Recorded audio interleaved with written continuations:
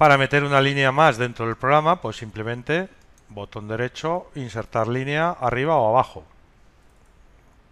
Todo va por, botón derecho o, o con atajo de teclado, la verdad. Bueno, pues abajo, pues ya nueva línea. Se me pone todo en rojo porque porque la línea está en principio incorrecta. Entonces vamos a insertar una entrada, por ejemplo, vamos a hacer un temporizador, pues con la basic input bioinput 6 voy a activar insertar salida no voy a meter un temporizador hemos dicho ¿dónde están los temporizadores? Pues tengo dos cosas tengo dos tipos de temporizadores eh, están ahí en timers bueno dos tipos eh, unos son funciones y otros son FBs el, la función timer es el temporizador OmRun de toda la vida. lo selecciono y lo arrastro. Y este es el timer de toda la vida, en décimas de segundo. Tengo que completar las variables y ante la duda siempre la ayuda. Este sería un timer de función. In, ¿quién me lo va a activar? Me lo va a activar esta, la entrada 6 no quiero que sea la entrada 6 porque quiero que sea la entrada 0 que es de interruptor la 6 es de pulsador eso lo usaré después para el para el temporizador de impulso el set time ahí en el PT sabiendo que son en unidades de es un wind y en unidades de eh, milisegundos. Es decir, si quiero 10 segundos, pues tendría que ponerle un 100.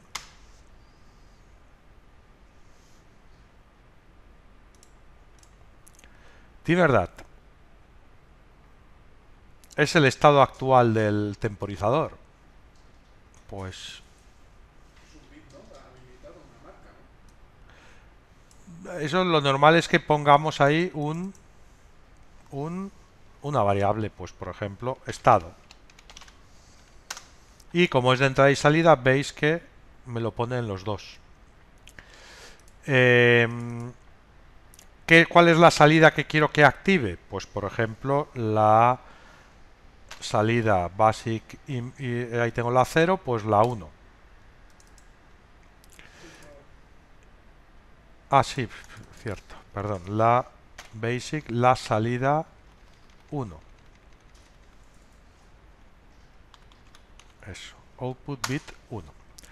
Y el valor, el tiempo transcurrido, en principio me deja dejarlo en blanco, pero podría ponerle una, una variable. Pues, eh, y esa variable podría ser o interna o global. Si es interna, me ha dejado poner et simplemente el upset time veo si me voy ahora a variables veo que las internas ahí está el estado es el, el, el nombre del temporizador el et es el tiempo transcurrido y estas están dentro estas que había definido antes las puedo eliminar porque no las estoy utilizando son variables que no se utilizan y vamos a probar eh, esto en el simulador o en el... Vamos a probarlo en el PLC. Este sería el temporizador normal. Venga, pues nos conectamos. Y se lo transferimos al controlador.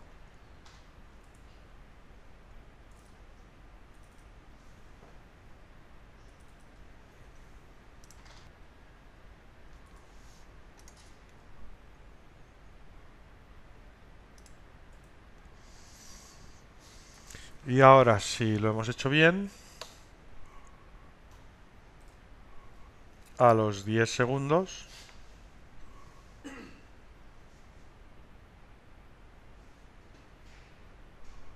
se activará la salida 1. Como así ha sido. Vamos a verlo otra vez. Vamos a, activar. Y a los 10 segundos, tenía que haber puesto un poquito menos.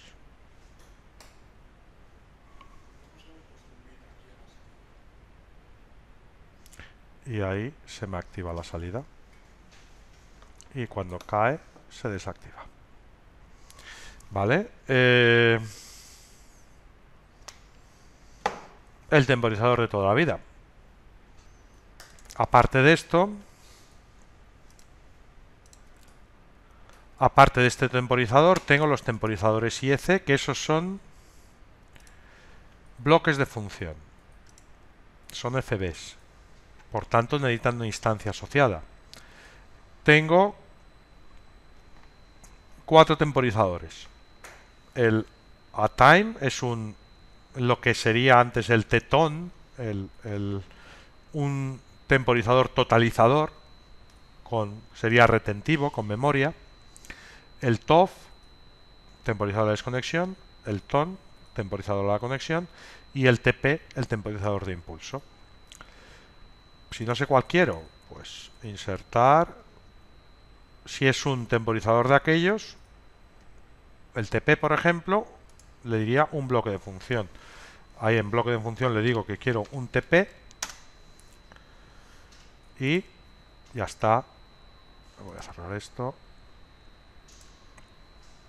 Lo que le tengo que dar es un nombre a este nombre único, como todos los bloques de función, TP1, para indicarle o temporizador de máquina o temporizador de impulso 1, el que sea, pero siempre este nombre tiene que ser único el valor de preselección tiene que ser en formato time, entonces le tengo que decir que esté almohadilla, por ejemplo, 5S, 5 segundos. El tiempo transcurrido lo podría dejar en blanco, en principio no me da error por dejarlo en blanco.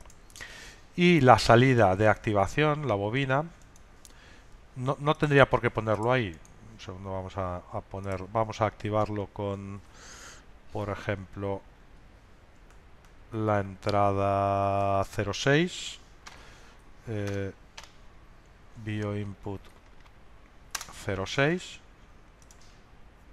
y ya en principio ahora podría añadirle otra línea donde ya esto ya es una referencia de mi programa donde metemos un contacto y ahora lo que voy a hacer es de TP1 TP1.Q es decir, la salida de este temporizador ya la llevo a una salida real. Podría haber puesto la salida real directamente ahí, es simplemente para ver cómo podemos leer el estado de una salida de un temporizador. Pues entonces ahí pues un out por ejemplo este ya sí lo llevo a una salida real la eh, por ejemplo la 05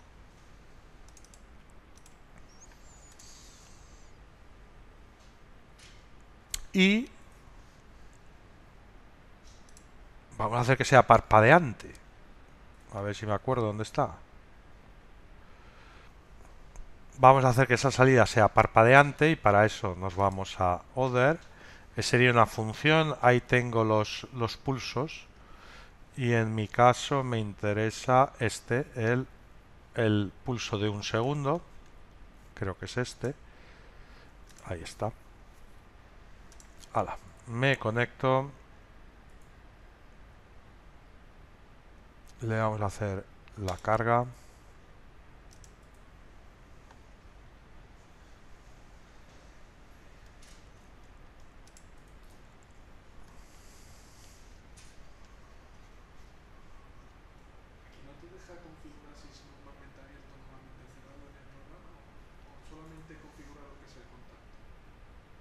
negar una, la lectura de una entrada? Sí, sí, ahora hacemos una negada si queréis.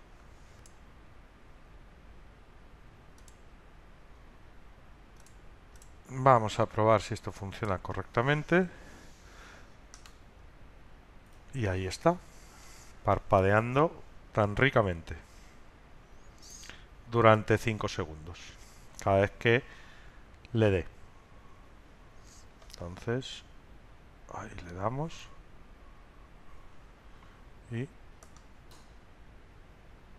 5 parpadeos me va a dar. Ahí está. Le vuelvo a dar otros 5 parpadeos.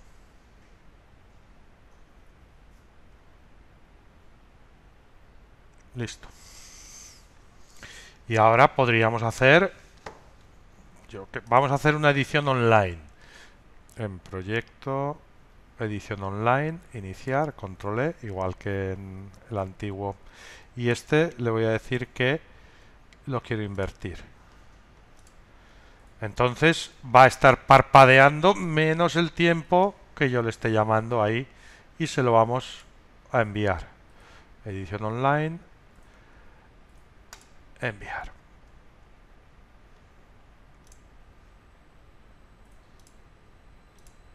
Y ahora tengo parpadeando la salida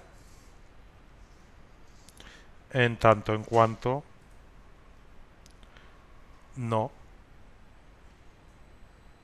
pulse, ahí está parpadeando la salida 5 y cuando pulso el deja de parpadear durante 5 segundos hasta que pase ese temporizador de impulso y vuelvo a, parpadear. Le damos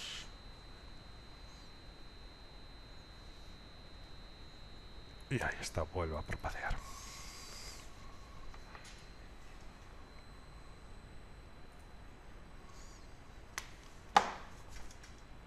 Y el resto de temporizadores, pues, pues eh, los de siempre. Ahí los tendríamos, el resto de temporizadores, pues los normales, TONTOF, TP. Este temporizador tradicional. Eh, los contadores, pues por ahí estarán. Ahí tengo los contadores. Eh, contador down, contador up, contador up and down y los tengo en si necesito contar muchísimo, en doble entero, en L, en sin signo. Eso la verdad, pues que tengan tantos, pues lo único que cambia es el tipo de dato. Podría ser configurable directamente en el contador y se hubieran ahorrado un montón de...